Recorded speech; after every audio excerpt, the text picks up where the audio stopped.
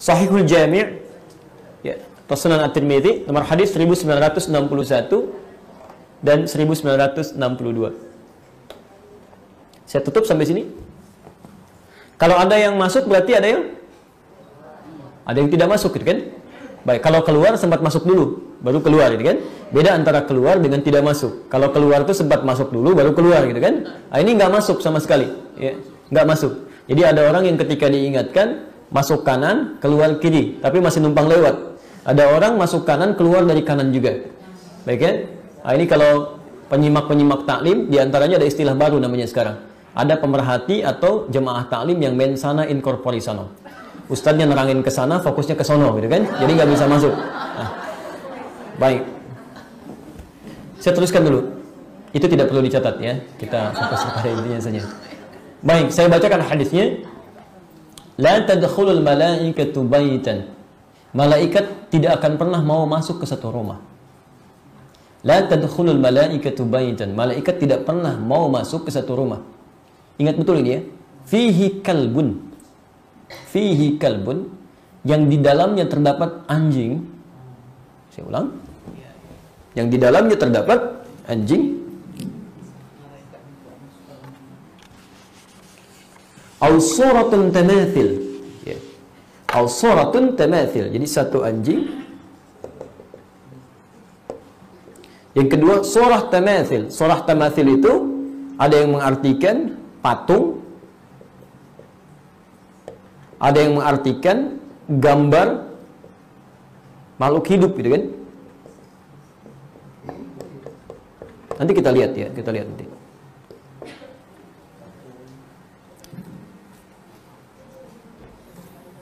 kita harus baca hadis dengan ilmunya ya tidak bisa baca hadis dengan terjemahan kalau ibu baca hadis dengan terjemahan itu besar kemungkinan keliru nantinya bisa salah gitu ya jadi pelajari dulu ilmunya baru kita tafsirkan saya kasih contoh paling gampang begini Makan yang sunnah pakai apa? Ke tangan. Berapa jari? Baik, baik, tiga jari. Sudah pernah lihat hadisnya? Dari mana tahunya? Oke? Okay? Lihat sini. Berarti kalau saya makan pakai sendok nggak sunnah dong? Ibu makan sayur pakai apa? Ibu nggak sunnah tuh. Baik, teman-teman sekalian, ibu sekarang perhatikan. Ibu makan nasi berapa jari? Tiga. Tiga ya, Kapan habisnya? Kan nasi tiga jari kapan hadisnya ya? Masya Allah. Lihat sini. Lihat sini ya, pelan-pelan. Hadis itu ketika disampaikan, Nabi sedang memberikan contoh ngambil kurma begini. Ya, kata Nabi makanlah seperti ini. Tiga jari itu sedang memegang kurma. Oke? Okay? Maaf, kalau memegang kurma itu dengan lima jari apa maksudnya tandanya? Gitu? Nah, dan di zaman Nabi bukan cuma ada kurma, ada gandum, ya, ada juga aish, ya semacam roti sobek begini. Mustahil makan roti itu dengan tiga jari, gitu kan? Ada jari yang digunakan. Karena itu kata para ulama hadis, maksud hadis ini itu menggunakan bahasa kiasan, bukan bahasa langsung. Ini menunjukkan kesopanan kalau dalam bahasa Arab. Maksudnya makanlah sesuai dengan kadar makanannya. Itu sunnahnya. Jadi kalau makanan itu makanan kue yang butuh dengan tiga jari atau bahkan dua jari, jangan berlebihan. Ya, kalau misalnya Anda makan nasi, gunakan lima jarinya. Ya, kalau Anda makan dengan sayur, ya gunakan sendoknya gitu kan? Dan seterusnya itu sunnahnya. Nah, ini yang saya maksudkan tidak bisa kita melihat hadis hanya sekedar lihat terjemahan bisa disimpulkan hadisnya. Jelas sampai sini? Baik, salat sunnah yang terbaik lakukan di mana? Tuh, belum selesai sampai situ hadisnya. Belum selesai, kan? nggak, pakai oh juga dia. Oh, enggak, belum selesai. Baik ya? Lihat kalimatnya, wa baitihuna kata Nabi. Rumahku di sini.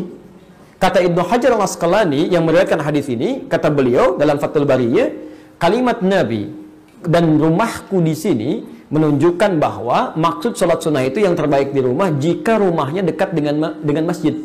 Ya. Rumah Nabi di mana? Di masjid. Rumahku di sini, rumahku di masjid. Jadi dekat dengan masjid yang terbaik tunaikan di rumah supaya tempat sujudnya semakin meluas. Tapi kalau ibu misalnya rumahnya jauh dari masjid, ibu orang rawa bangun, pengen ikut kajian subuh di Bekasi. Sholat sunnah di sini kapan nyampe ke sananya gitu kan? Gak akan nyambung. Nah itu nanti ada beberapa turunan-turunan hadis. Dan di sini kasusnya banyak sekali. Ya. Nah saya mau turunkan ke pembahasan kita. Sekarang lihat, ada kalimat anjing di sini. Hampir tidak ada perbedaan pendapat di kalangan ulama. Bahwa yang dimaksudkan ada kalimat fihi di dalamnya. Di dalam. Jadi di satu rumah di dalamnya ada anjing. Ya, bukan yang dimaksudkan anjing penjaga gitu. Ya bukan dalam konteks ini. Walaupun ulama memandang makruh keadaannya sekiranya tidak sangat dibutuhkan.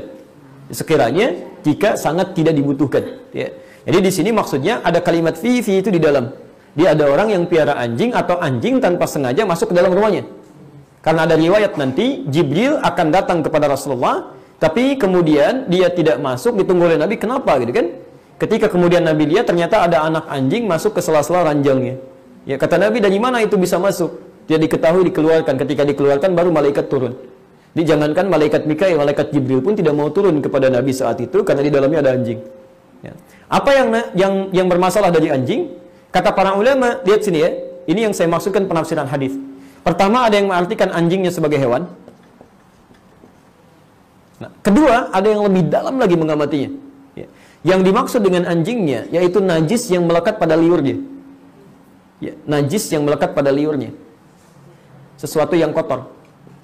Ya. Kenapa disebutkan dengan anjingnya dalam kalimat ini? Karena bahkan kita tidak bisa mengetahui kapan anjing menjilat tubuhnya. Sehingga liurnya menempel dalam tubuhnya. Kemudian dia duduk di kursi, duduk di tempat, masuk ke mana-mana, jilat yang lain. Maka kotoran-kotoran ini menyebar, sehingga menjadikan malaikat tidak senang turun ke tempat yang kotor atau bahkan bernajis. Orang yang mengartikan anjing saja, maka dia akan membatasi yang penting gak ada anjing di rumah. Tapi orang yang mengartikan liur atau kotoran atau najisnya, dia memperluas. Malaikat pun tidak akan turun ke tempat yang tempat itu kotor sekalipun tidak ada anjingnya. Ya. Jadi hati-hati bu ya, hati-hati. Tempat-tempat kotor itu nggak mau malaikat turun. Itu tempatnya setan, tempat jin. Ya. Tempat jin, tempat yang nggak pernah digunakan untuk berzikir, tempat yang kotor tidak pernah dibersihkan itu yang turun paling jin. Makanya suasana ibu masuk ke rumah kosong yang tidak ada penghuni, suasana masih kotor dengan rumah bersih itu akan lain. Saat masuk aja udah beda. Nggak percaya silakan ibu masuk ke rumah biasa gitu kan, tenang gitu nyaman. Ketika masuk ke tempat yang kotor suasana sudah lain sedang bau nggak enak, perasaan nggak tentram dan sebagainya. Jelas di sini? Nah, ini bagian yang pertama. Ya. Jadi ini malaikat tidak senang turun ke tempat-tempat demikian. Jadi kalau misalnya ibu ingin disinggahi malaikat tempat rumahnya, selain digunakan berzikir maka bersihkan. Bersihkan gitu kan? Dari yang kotor-kotor, dari yang tidak baik dan sebagainya. E, kami di rumah coba praktekkan ya, itu beli speaker aktif Bu ya. Yang speaker aktif kemudian diisi dengan Quran aja gitu kita padukan berusaha untuk menjadikan rumah bersih plus dengan ada nuansa zikirnya.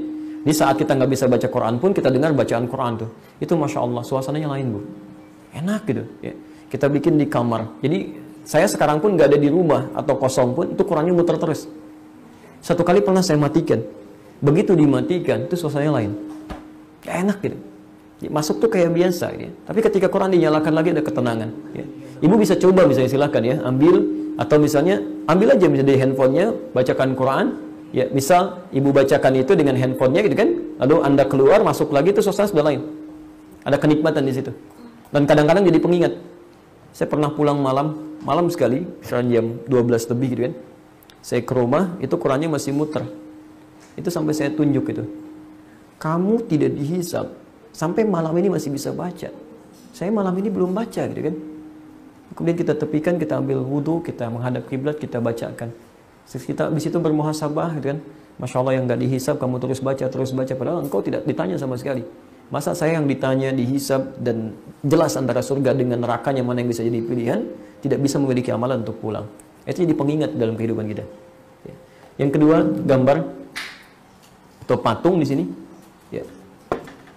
Di sini ulama ada khilaf terbagi pada dua bagian. Khilafnya sangat ringan sekali. Ya. Yang pertama tadi yang tekstual, pokoknya gambar apa pun, patung apa pun nggak boleh gitu kan. Ini biasanya yang yang me, terlalu berhati-hati dia. Punya setiap ada gambar, setiap ada apalagi patung macam-macam, maka itu berusaha untuk ditepikan, hilangkan. Ya. Yang kedua, menelusuri dulu maksud hadis ini ke mana dengan membaca hadis-hadis yang lainnya. Ternyata ketika diperhatikan, ya, ibu di antara istri Nabi ada Sayyidah Aisyah. Ibu kenal? Kenal di mana? Luar biasa. Di cuma di sini yang kenal Sayyidah Aisyah ini tidak. Baik. Sayyidah Aisyah itu ya, putrinya Abu Bakar, istrinya Nabi sallallahu alaihi wasallam, itu dalam keadaan kecilnya itu masih pernah bermain dengan boneka dumya. Boneka kuda-kudaan. oleh Nabi dibiarkan. Padahal kalau kita lihat konteksnya ke sini kan itu termasuk bagian dari yang dimaksudkan di sini gitu kan? Kalau lihat secara tekstualnya. Tapi nanti setelah berumah tangga, beliau pasang sesuatu kata Nabi sobek itu, nggak usah ada di sini gitu kan? Jadi ada sesuatu yang diperkenankan, ada yang tidak. Ketika dilacak oleh para ulama, kapan Nabi memperkenankan, kapan tidak?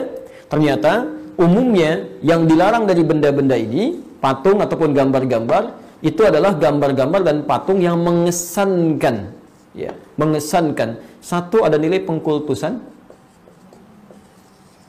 ya. atau secara langsung bertentangan dengan hukum Allah. Ada nilai-nilai kesyirikan misalnya di sini.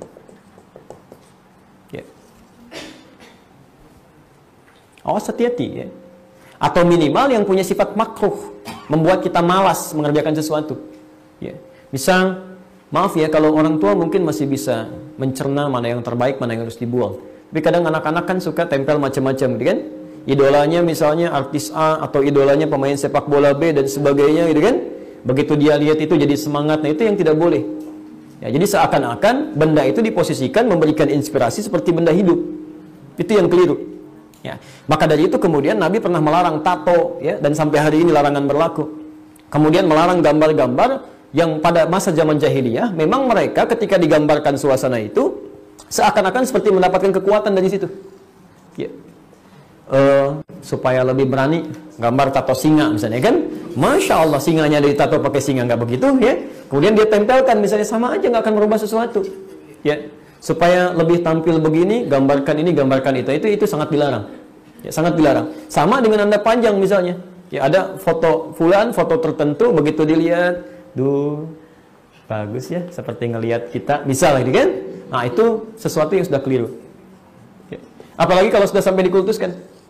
Ya, dikultuskan saya kan dengan foto tertentu seakan-akan ibadah menghadap ke situ macam-macam dan sebagainya doanya mohonnya ke situ sehingga tidak nyambung gitu kan nah, ini hal-hal yang yang dilarang. Ya. Kalau sudah sampai ke sini, ini yang paling bahaya. Ini yang paling bahaya. Dan tidak ada bedanya dengan zaman jahiliyah saat patung-patung dikeluarkan. Ya. Jadi di sini ulama kemudian yang kedua berpendapat kalau sekiranya ada gambar-gambar yang melahirkan manfaat yang memang dibutuhkan untuk masalah hidup manusia, itu ma'fuanhu sifatnya boleh digunakan. Ya, seperti misal saya beri gambaran, ini tegas ya, ulama di sini tegas sekali.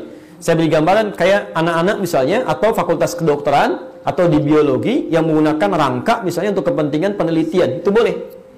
Sah hukumnya. Ya tidak digunakan pada yang lain. Ya ada rangka malam-malam dibawa ke rumah orang disimpan di tengah-tengah itu kan? Diajak tahajudnya itu salah ya. Tapi kalau dia simpan di lab untuk penelitian untuk menerangkan nih alurnya ke sini alur ke sini itu sah hukumnya. Boleh nggak ada masalah. Ya.